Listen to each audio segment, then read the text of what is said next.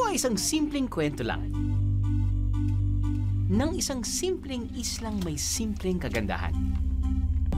Simpleng kagandahan na inaasam-asam na masilayan ng karamihan. Dito sa Sicogon Island sa Iloilo, isang simpleng biyaheng siksik liglig ng di malilimutang karanasan.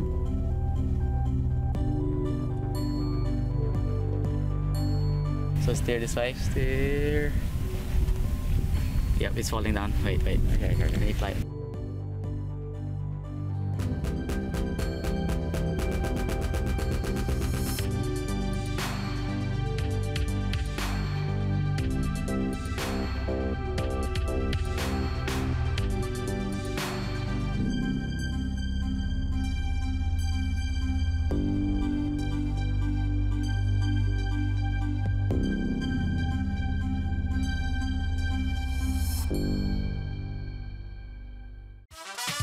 Bahagi ang Sicogon Island ng probinsya ng Iloilo na nasa bandang gitna ng Pilipinas. Binansagan ng probinsya na Heart of the Philippines dahil na rin sa pwesto nito sa mapa.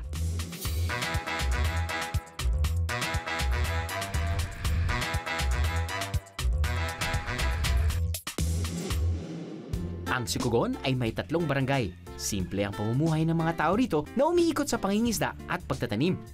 Ang Sikogon ay maganda na isang isla. Nung bata pa ako, beach na ito noon. May resorts ito dito sa ano sa Buaya. Buaya Beach doon. Pero dito ang mga cottage sa taas ng lagon. Oh, may may airport din ito noon, pero maliliit lang ang eroplano at saka hindi simento. Buhangin lang. Talagang maganda talaga to. Maraming isda dito sa ano lang. Yan ang kinabubuhayan namin.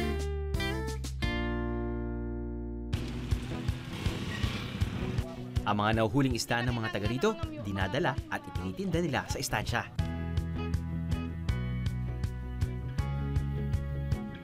Bukod sa pinakamalapit, ito na rin ang jump-off point papuntang Sicogon Island. Para marating ang istansya, maaring lumipad mula Maynila patungong Rojas City, Capiz at saka mag-land trip ng isa't kalahating oras papunta rito.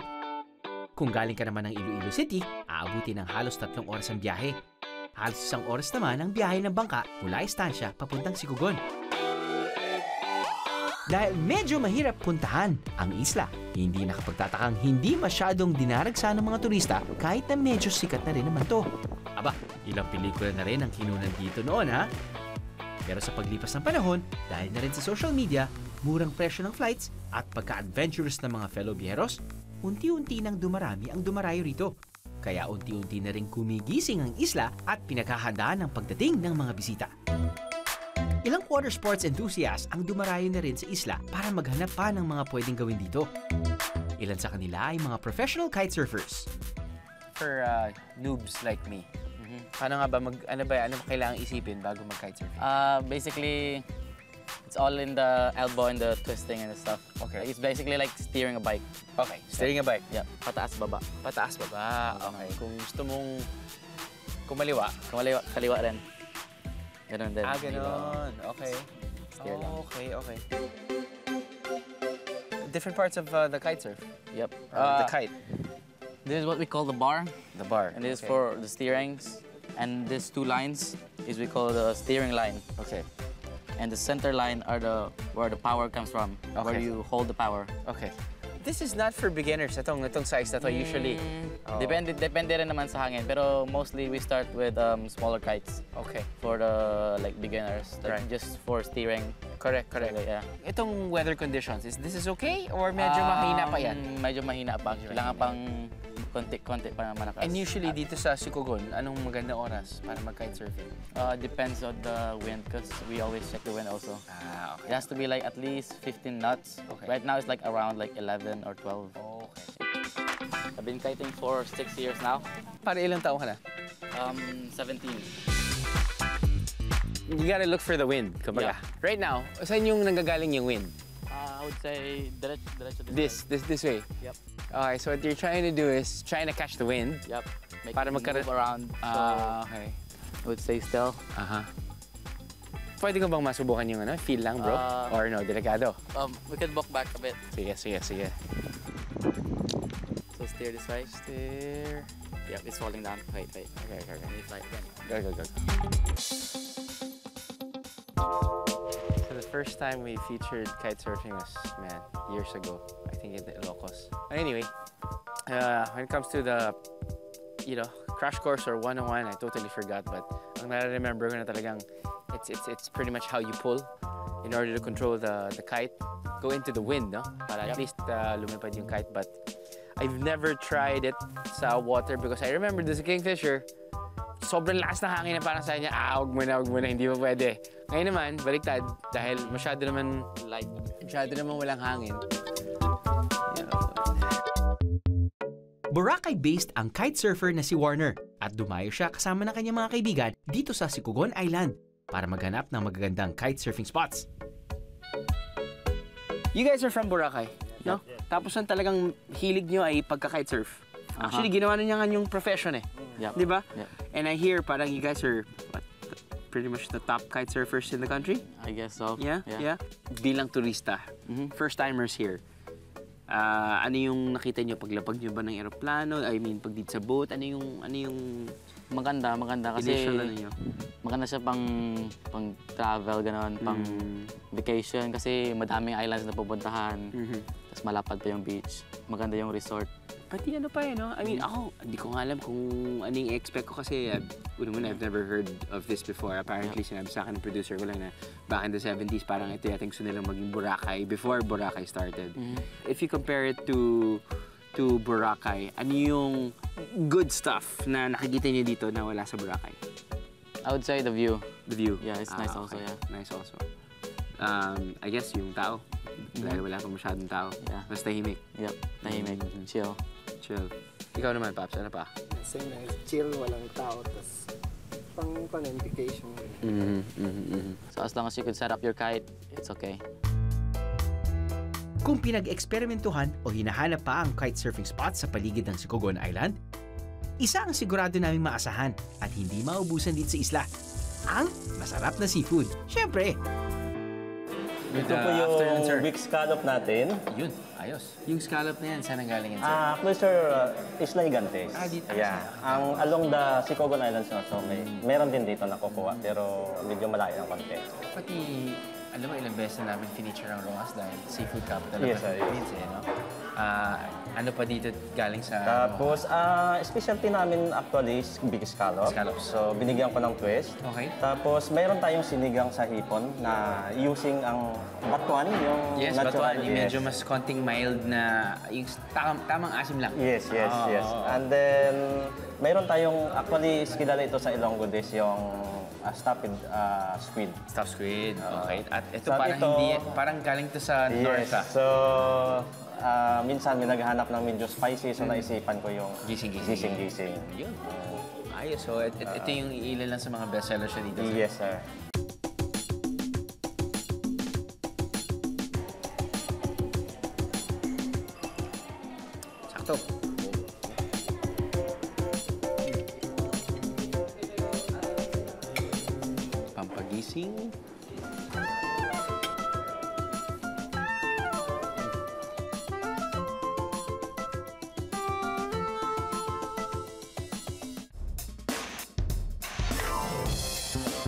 Walang accredited homestay sa Sicogon Island.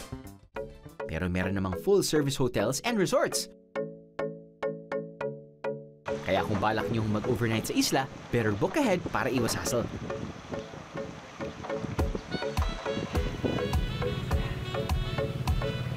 I can get used to this view. Good morning, mga bihero. It's uh, exactly 6.22 a.m. This is the view from the dining area here in uh, Balay, Sukugon. At uh, pumunta tayo sa ating uh, quarters, sa ating villa. Now, katulad na sinabi ng project manager na si Ryan, no? dito sa Sicogon Island, you have like three major accommodations or resorts. One is this one. This is the first one. It was built like 2016. Parang it caters to uh, probably bigger groups of people, families or lovebirds. Medyo konti kahit paano high-end. Um, And then there's the another one which is Huni. Yan yung parang resort style talaga na kasama mga bata dahil parang hotel rooms yung kanilang ah, ah, ino-offer.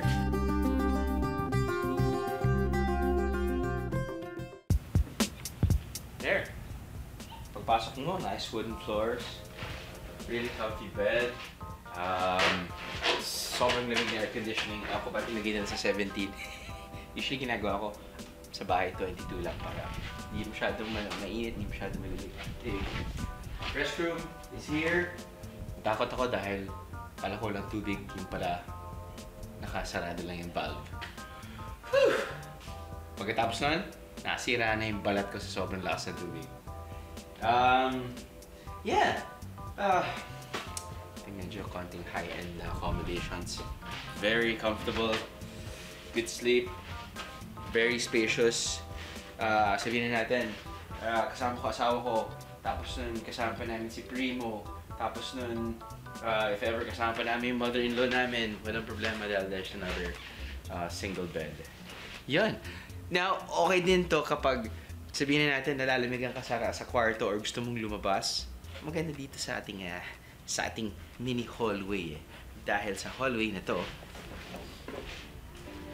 See? May view ka rin ng konti. Pero parang meron kang magandang hangout area.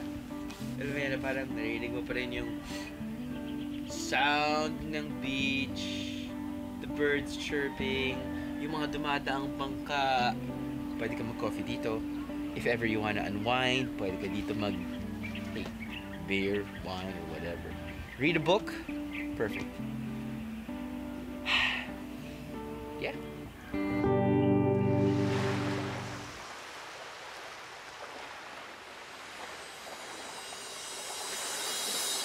Halos dalawang taon pa lamang formal na nagsisimula ang mga development sa isla. Ang kagandahan dito sa Sigugon, ang mga hotel at resort na itinatayo rito ay nagbibigay mismo ng dagdag na kabuhayan sa mga taga rito. Ang simpleng nito, handicraft dito. Ginagawang dekorasyon sa mga resort at souvenir items naman para sa mga bisita. Noong bata pa ako, lola ko nag gagawa na nito. Tapos mga malalaki na mga ginagawa ng lola ko, nilalagyan ng mga isda na galing sa alo. Tawad, pag, pag dating dyan i, kuan, ilagay sa kanastro. Kanastro ang tawag na ng malalaking mga basket. Tapos, sang nag-aaral na ako, tinuruan niya din ako na, na, maru- na marunong na ako na manggagawa nito. Hasta nga, marami na kami ginagawa ini- binibinta na namin. In, nilagay ng mga lampshade na, na mga flower base, lalagyan ng mga flower pots sa gilid ng mga kanpang design, kung nila sa mga bulaklak pinanglagyan. Marami to sa bundok, kaso mahirap man to pangkunin. May mayroon pa mga ahas, maraming mga naranasan namin sa bundok. Nakarating na to po sa Belgium, sa Maynila, ang halos na lahat na nag-order sa amin, ang makita nila mga produkto namin, pag gusto nila, binibinta man namin. Ito may 500, may 300, may 200. Ang mga malalaki may mga 300 na nilalagyan ng mga isda na mga kwan, tag 300 na aming pambinta. Ang kogon naman, na tradisyonal na ginagamit na bubong ng mga taga rito, siya na rin ginagamit na bubong ng mga tinatayong struktura sa isla. At ang mga gumagawa ng mga kogon roofing na to, ang mga kababaihan. Ito ang ginagamit namin sa bahay pang ano, pang bubong. Dahil eh, malamig ito sa ano, sa loob ng bahay. Tapos kung kung ibang gamitin namin, na mahal. Itong ginagamit namin kasi kinukuha lang namin sa bundok. Nung naka ano na sila, naka naggawa na sila ng mga cottages. Tapos sinabihan nila kami na kailangan nila ito. Kaya kumukuha kami ng mga kugon at saka ginawa namin ng ganito kasi mapakinabangan na namin. Hanap buhay namin, mga babae. Yung mga lalaki nasa laot. Tapos yung mga asawa, yung mga babae, itong ginagawa. Kaya ma ano, Malaking tulong to sa amin, sir. Ah, abot ng 15, 12 to 15. Na ganito. Walang, ano, mula morning. Isang, ano ito? pa? Oo, isang pa. Binibili nila, ano, Magkano ba? 50. 50. Bali magkano po ang puhunan nun? O, mga 30. Pero okay na rin, nakatulong pa rin. Ngayon, masaya kami. Masaya Kasi kami may pag- bago ng Ayala. Yung Pagka gumagawa kayo na, nagkakantahan kaya. Oo, masaya kami ah. masaya kami. Kung minsan nga, nagsasayaw pa, oh, parang hindi na masakit dito namin. Oh. Kasi maraming kugon. Maraming kugon dun sa taas. Tapos, sa dagat. Kaya, Tapos maraming kugon. Di, si kugon. Di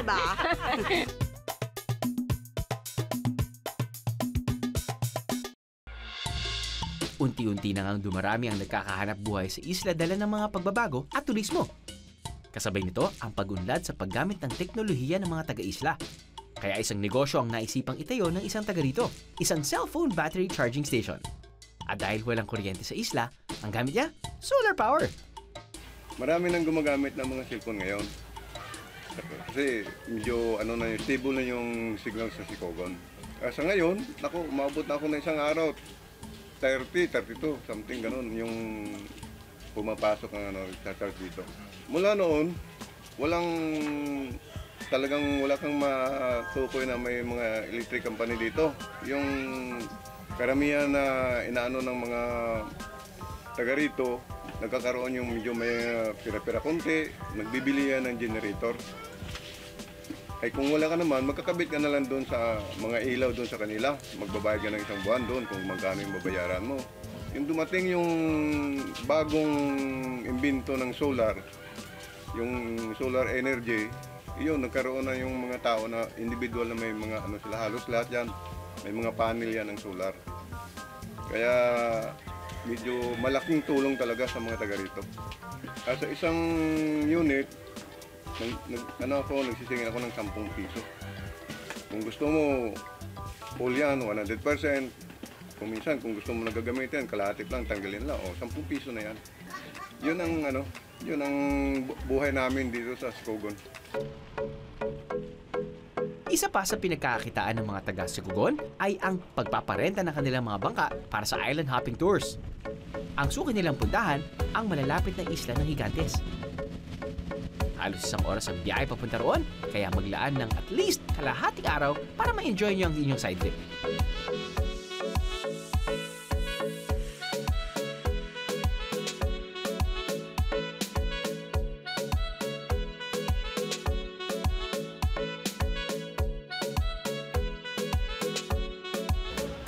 Teka, teka, teka. Parang nanggaling na tayo dito. Correct. Dahil ito ay part of the Gigantes Group of Islands na finisher namin a few years back. Anyway, ah, kasi malapit lang ang Gigantes Group of Islands doon sa Sikogon. Kaya ito pa rin yung nagiging parang ah, major tourist spots. Kung gusto nilang mag ah, island hopping, malamang ito yung magiging priority nila na nabibisitahin. One, this is what they call the Tangke Lagoon, saltwater lagoon. Um, makikita nyo naman, madaling umakyat, rough yung surface, not too sharp. Alam mo, may mga ibang uh, gintong klaseng rocks na medyo sharp na kapag nakapaka, napakasakit. Ito, sakto lang. Pwede, pwede. At makapit. Uh, people swim there and people like climb here, take pictures, selfies, and everything katulad ng mga tao niya. Now, just enjoying the view.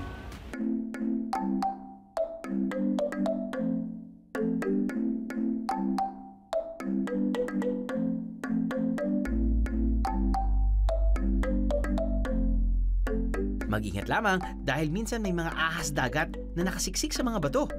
But don't worry, biheros, natural lang yan. If you don't bother them, they won't bother you. Next stop ay ang Kabugao Gamay Island. So, nandito ngayon sa Kabugao Gamay. yes.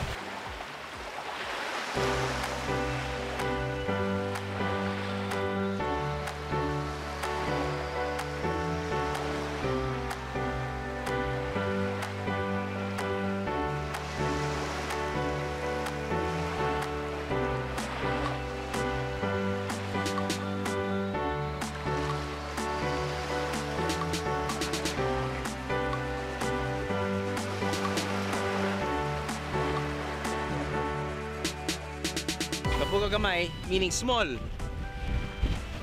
Yung neighboring island naman na mas maliit ay Kabugaw Dako, which means big. Napunta tayo ngayon sa medyo magandang vantage point.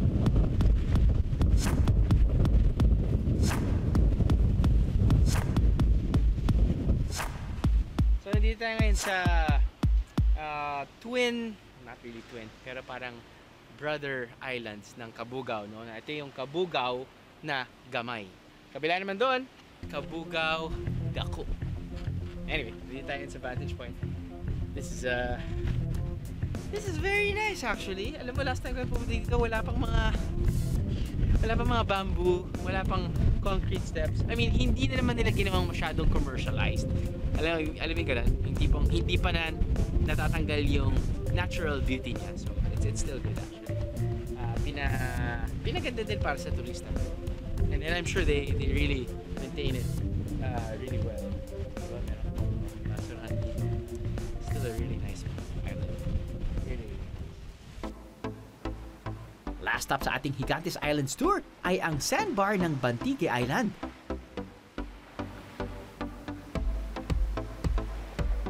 Tiyakin ang schedule ng low tide para masulit nyo ang inyong sandbar experience.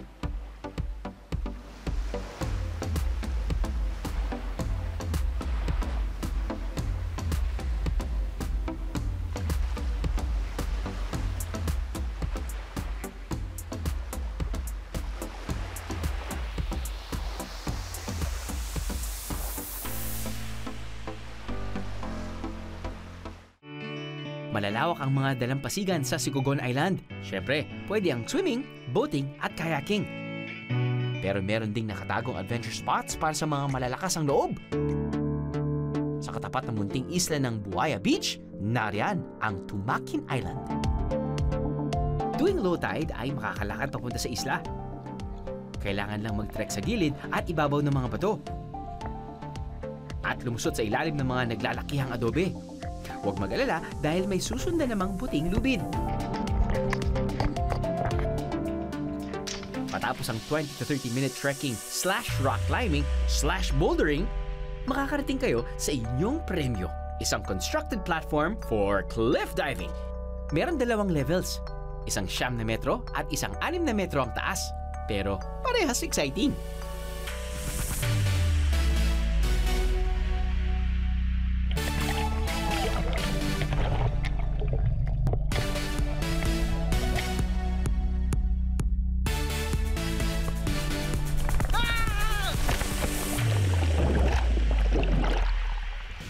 Adventure seekers out there, if you're gonna be checking in Sikogon, uh, you have the option to actually do cliff diving.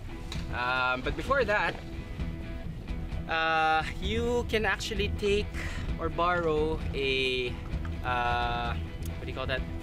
A kayak or pwede kayo magpatid because it's just like the island which is Tumakin.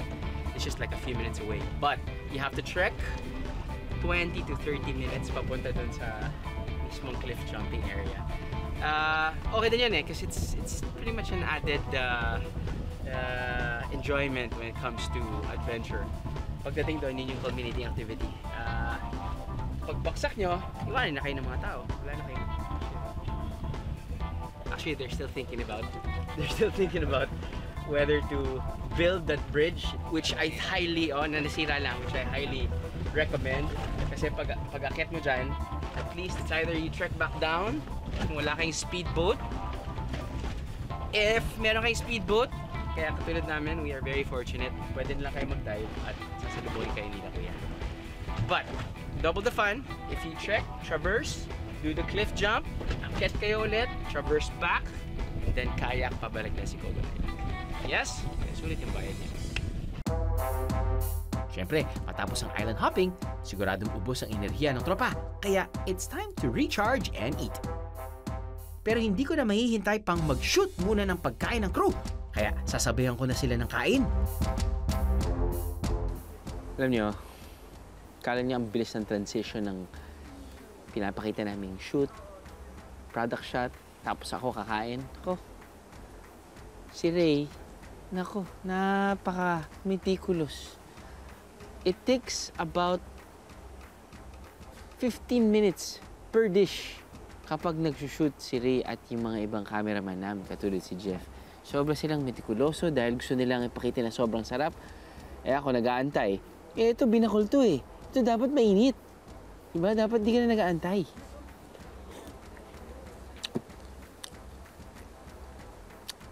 Yep. Yung ganyang init. Hindi na ma-appreciate ng host.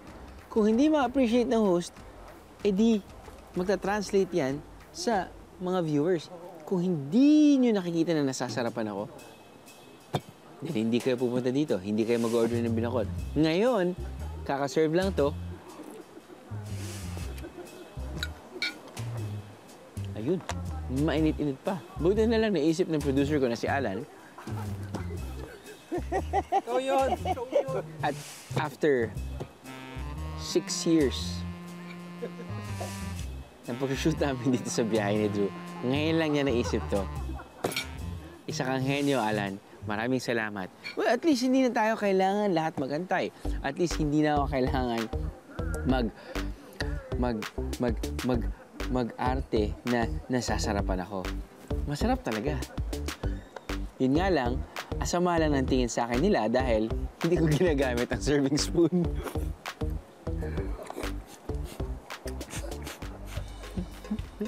Binakol, hey, always hits the spot for me. Kala ko kasi tinola na was my favorite dish. Boom! Lagay mo ng buko juice, lagay mo ng buko meat, kaboom. Sarap. Anyway, same goes with this. Ni hao. But honestly, importante na nakukuha nila yung magandang shot para maglabay kayo kapag napapanood nyo sa TV. Tough job. Tough job for me to, to, to wait. Buti lang ngayon, mas madali. Uy, sausaw na naman yung spoon ko. Sorry.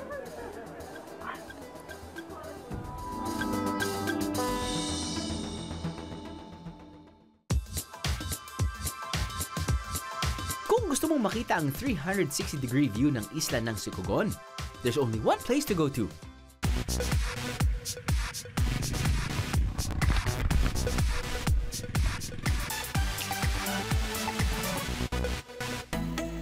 Ito ang Mount Upaw. Ibig sabihin daw ng upaw ay kalbo. Mukha kasing kalbo ang tuktok ng bundok na to.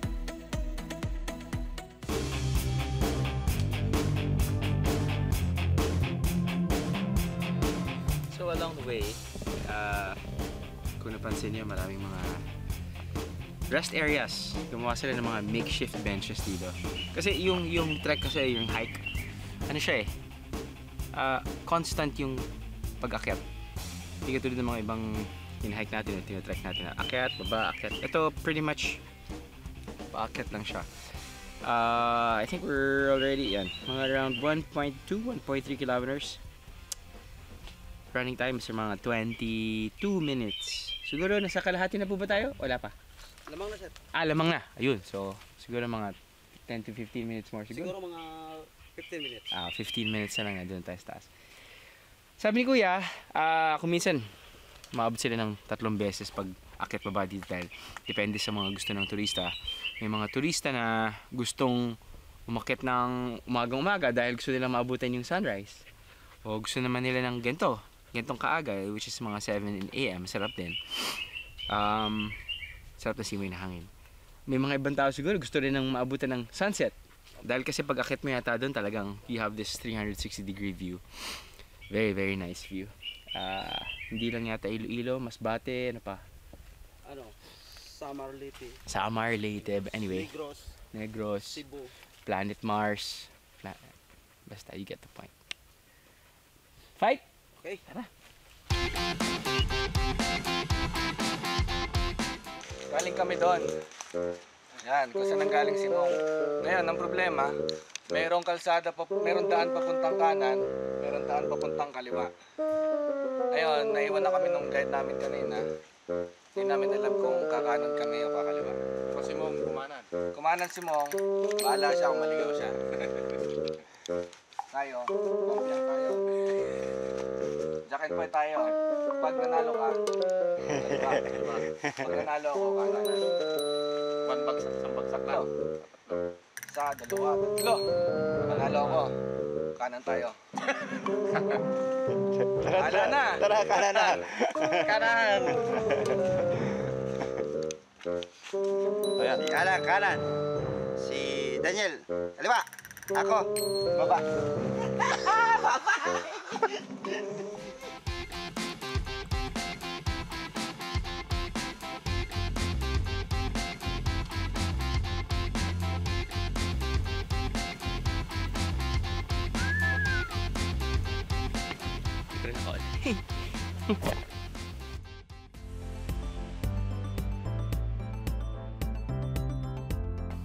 After 30 minutes, that was uh, roughly nearly two kilometers.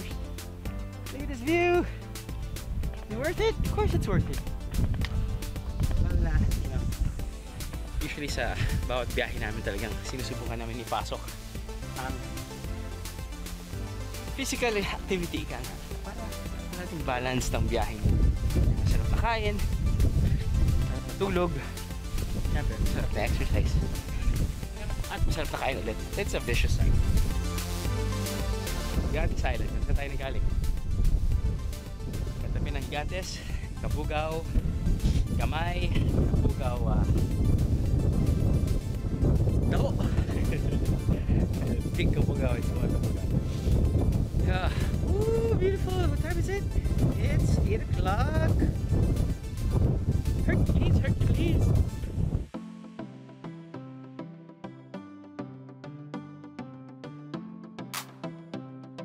Tay, ang dami ko nakitang ginto. Packet tayo, no? Oo, sir. Ano man tawag ulit nito? Litik-litik. Litik-litik. Opo. Ano, kinakain ba yan? Oo. Ito, ang kinakain yan, ito. Pag kinuha mo to, yan. Tanggalin mo to, tapos itong kainin mo. Yan. Tapon mo yan. Yan. So, sir, subukan mo. Kung, ano, kung gusto mo sumubok ng kumain to. Yan, yan, yan.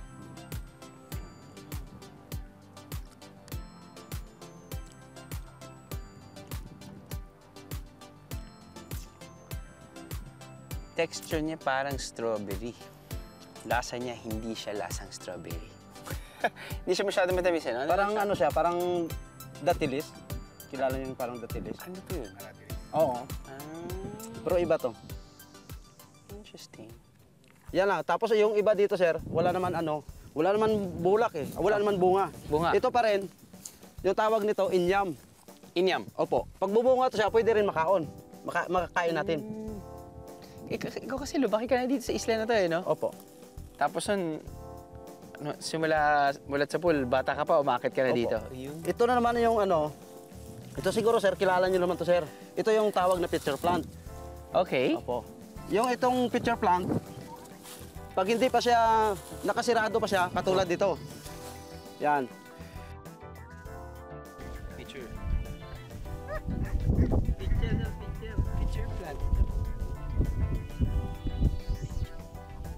Ah, ito yung tinatawag na pitcher plant.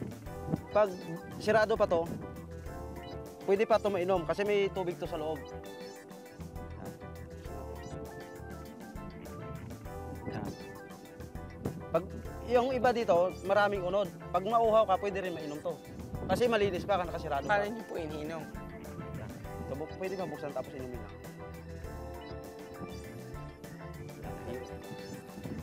Natural to sir. Natural to talaga. nat- Natural to na tubig dito sa loob talaga. Pero pag bukas na siya, tulad Opo. dito. Yung maganda. Natin. Kuha po tayo ng maganda.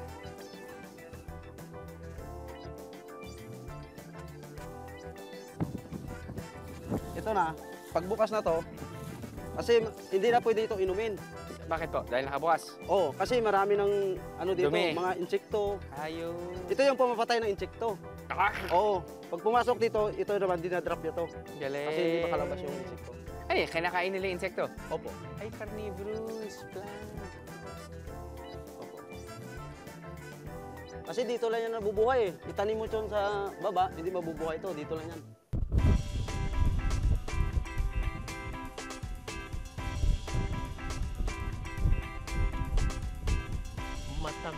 daw. Ano? Parang natural lang ito. Tapos, kunin natin loob. Yan, ito. Ito yung ano laman. Ito yung nakakain. Sarap. Okay sir, sarap sir. You can see dito sa uh, Sikogon Island. The property owner is very serious when it comes to uh, tourism. That's why they made an airport. I think meron lang yata flights yan. Three times a week yata? Uh, yeah I think three times a week. Anyway I'm sure na may Wednesday. I'm sure na may Saturday. At I'm sure na may Monday. Parang ganun ata. Anyway. So if ever you guys want to fly in and it's just one hour away from Metro Manila, this would be the best option. But then again, if you're flying Tuesday or Thursday or any other day na hindi lumilipad dito yung aeroplano, gawin nyo yung katulad na ginawa namin. We flew to Rojas and then took an hour and a half ride to the port of Estancia and then took uh, a 20 minute speedboat ride to Sicogon. This is uh this is gonna be exciting actually. Uh, grabe, grabe yung tourism ng Pilipinas and we are so lucky to to witness uh, new developments.